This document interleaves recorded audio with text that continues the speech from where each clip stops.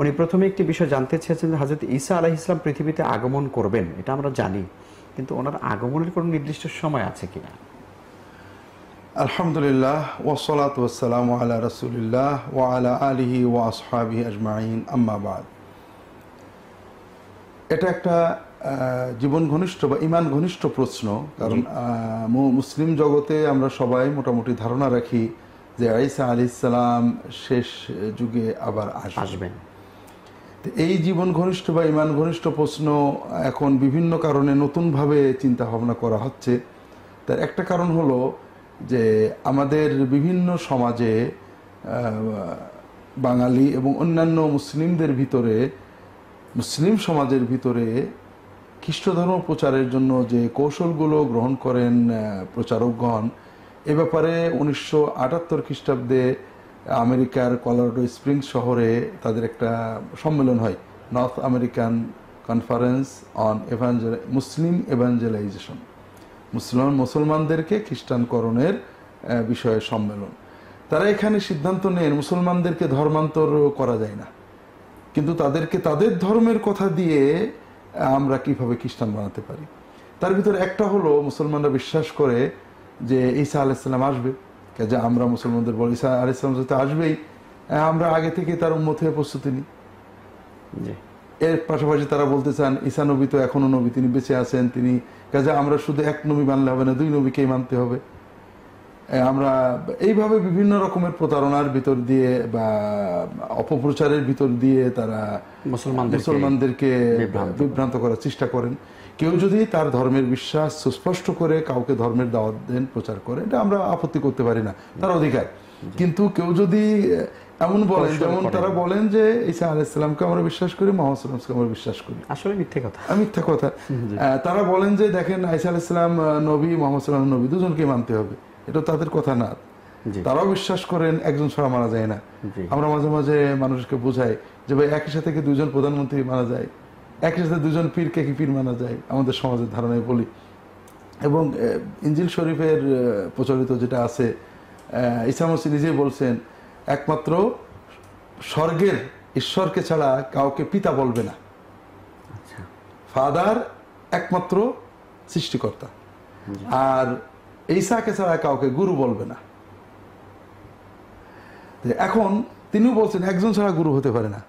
তবে যদিও খ্রিস্টান সম্প্রদায়ের সাধারণ অভ্যাস হলো পাদ্রীদেরকে ফাদার বলা বা মানে তবে বাইবেলে কিন্তু নিষেধ আছে। যীশু খ্রিস্ট নিজেই বলছেন একমাত্র সৃষ্টিকর্তাকে ছাড়া কাউকে ফাদার বলবে না আর একমাত্র যীশু খ্রিস্ট ছাড়া কাউকে গুরু বলবে না আচার্য বলবে না। তাহলে একজনকেই তারা মানেন? কিন্তু তারা বোঝাতে চান আমরা দুটোই মানি। এই পর্যায়ের একটা কথা তারা বলেন যে ঈসা আলাইসাল্লাম আবার যেহেতু আসবেন, কাজে আমরা তার জন্য প্রস্তুতি নেব। তা আপনার যে প্রশ্নটা, ঈসা ইসলাম আসার সময় আছে কিনা? এই সময়ের ব্যাপারে দুটো অ্যাপ্রোচ একটা হলো ইঞ্জিল শরীফগুলোর অ্যাপ্রোচ ইঞ্জিল শরীফগুলোতে বারবার বলা হয়েছে, ঈসা ইসলাম আবার ফিরে আসবেন। আবার মুসলমানরাও বিশ্বাস করছে, ঈসা আলাইসাল্লাম আবার ফিরে আসবেন। মুসলমানদের বিশ্বাসের বিষয়ে কোরআনে স্পষ্ট কিছু নেই। কোরআনে কোথাও নেই, ঈসা আলাইসাল্লাম আবার ফিরে আসবেন। একটা কথা সুরা নেসাই যেটা আল্লাহ বলেছেন ও ইমিন আহলিল কিতাব মিনান কাবলা মৌতিহি তার মৃত্যুর পূর্বে আহলে কেতাবরা তার উপর ইমান আনবে। এই তার মৃত্যুর পূর্বে বলতে যে আসবেন, এসে দুনিয়াতে স্বাভাবিক মৃত্যুবরণ করবেন।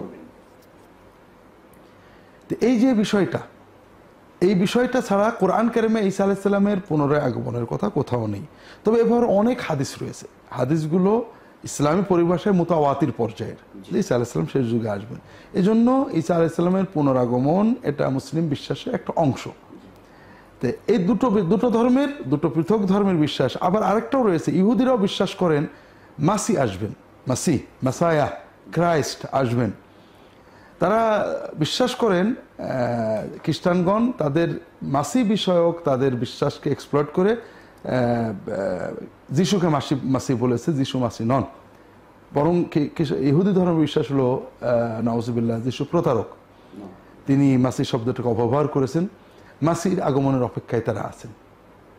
তাদের মাসি আসবেন আবার খ্রিস্টানগণও মাসির পুনরাগমনের অপেক্ষা করছেন মুসলমানগণ। মানে খ্রিস্টান এবং ইহুদিদের মাসিদ দুজন? হ্যাঁ ইহুদি ধর্মের মাসিহের যে চেতনা এটা ইহুদিদের দাবি কারণ পুরাতন নিয়মে, বাইবেলের পুরাতন নিয়ম যেটা, জুইশ বাইবেল যেটা, এটাতে মাসিহের একটা ধারণা আছে। এই ধারণা ইহুদিদের ভিতরে আছে যে মাসি আসবে। কিন্তু এই সাহেব মারিয়াম সেই মাসি নন। বরং ইহুদিদের বিশ্বাস অনুযায়ী তিনি প্রতারক। তিনি নওজুবিল্লাহ তিনি মিথ্যা মিথ্যা মাসি দাবি করেছেন। কারণ তাদের পুরাতন নিয়মের বা জুইশ বিশ্বাসের মাসি হবেন বিজয়ী। তিনি বিজয়ী শাসক হবেন, বাদশাহ হবেন, সারা বিশ্বে ইহুদিদের রাষ্ট্র প্রতিষ্ঠা করবেন, ইহুদিদের অধীনে সবাইকে নিয়ে যাবেন। আর মাসি মানে ঈসা আলী ইসলাম তিনি এগুলো কিছুই করেননি। তিনি মার খেয়েছেন, মারেননি, পরাজিত হয়েছেন। তাহলে তিনটে ধর্মের মানুষেরা এই মাসিহের অপেক্ষা করছে।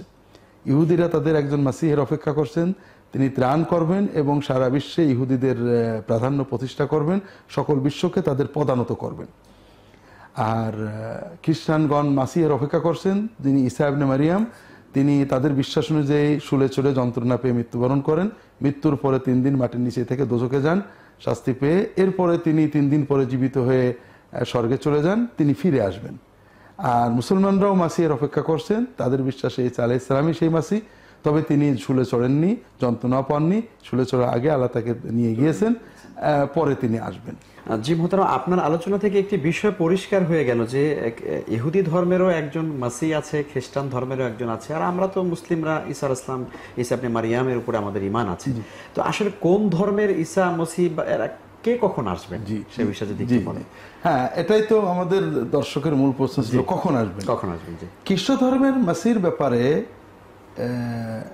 ইঞ্জিলের ভিতরে একেবারে রিপিটেডলি বারবার নিশ্চিত করা হয়েছে যে খুব দ্রুত তিনি আসছেন। খুব দ্রুত বলতে আবার ক্লিয়ার করেছে, তোমাদের জীবদ্দশায় আমার এখানে যারা রয়েছে, তাদের ভিতরে কারও কারোর মৃত্যুর আগেই আমি ফিরে আসব।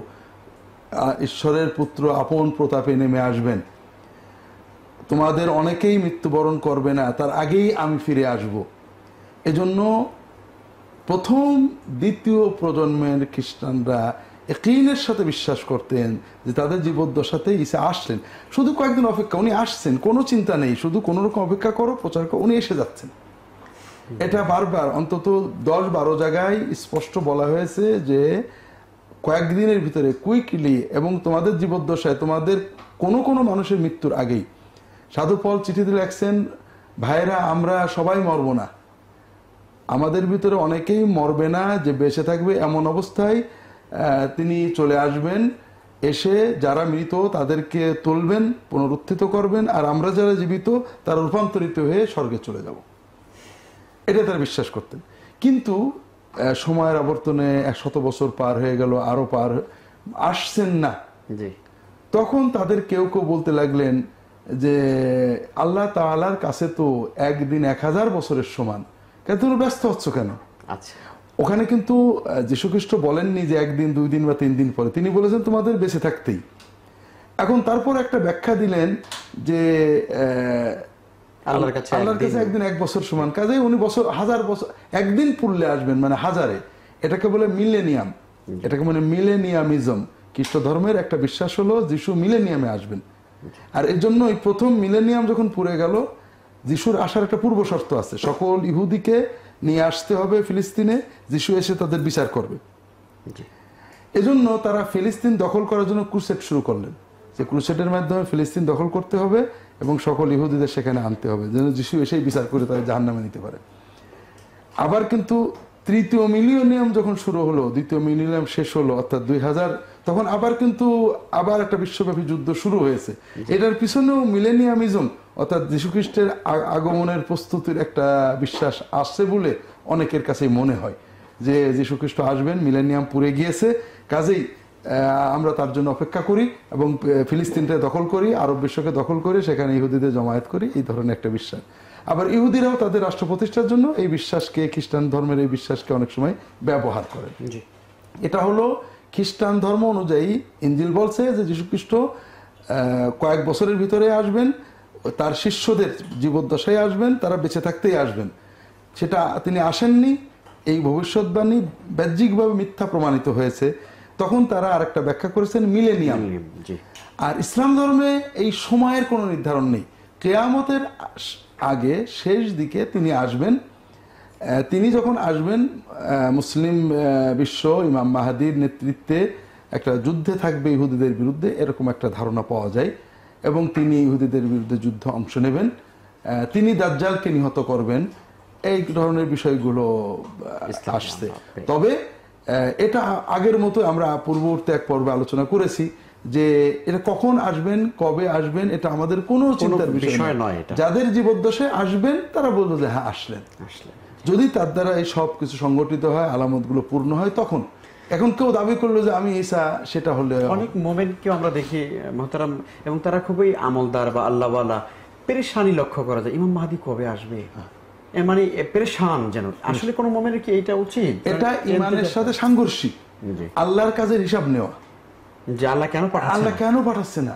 আর আসলে আমার লাভটা কি? আর না আসলে আমার ক্ষতি কি? আমার ইমানের সাথে তাকুয়ার সাথে দাওয়াতের সাথে দিনের সাথে জান্নাতের সাথে ইমাম মেহেদের কোনো সম্পর্ক নেই। তারা মনে করেন যে ইমাম মেহেদি আসলে এই সব অনাচার দূর হয়ে যাবে আহা কত ভালো হয়ে যাবে। কত ভালো মন্দ তো সাত বছরের জন্য। জি জি। আর কি বা হবে? আর না হলে আমার ইমানের কোনো ক্ষতি হচ্ছে না তো? এর জন্য নিজের কর্মে ফাঁকি দিয়ে পলায়নী মনোবৃত্তি নিয়ে এটা তারা পেরেশানি হবে আলহামদুলিল্লাহ আপনাকে অনেক শুক্রিয়া। আহ, চমৎকার করে আপনি হজরত ইসা আলহিসাল্লাম সম্পর্কে আমাদেরকে জানালেন। আমরা ইনশাল্লাহ তালা খুবই উপকৃত হয়েছি। আলহামদুলিল্লাহ জাজাকাল্লাহ